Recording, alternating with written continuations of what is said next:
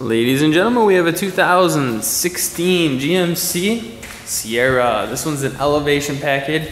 As you can tell, it's got the color matched uh, front and rear bumpers. Um, it's got the 20 inch blacked out rims there.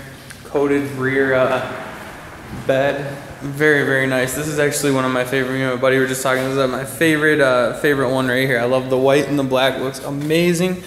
Goodyear tires, again, 20 inch blacked out rims, they're awesome. Very nice back seat, spacious double cab, uh, gray uh, cloth interior. There's the front seat right there, uh, seat controls, steering wheel controls. It's basic, but you know what? It's got everything you need. Eight miles, seven inch screen with a backup camera. There's all the climate control and everything, traction control. Got a four wheel drive on the floor, OnStar, I mean, power everything. What more do you need? And under the hood, a 5.3 liter Vortec V8. 355 horsepower there. So there you have it folks, the 2016 GMC Sierra Elevation.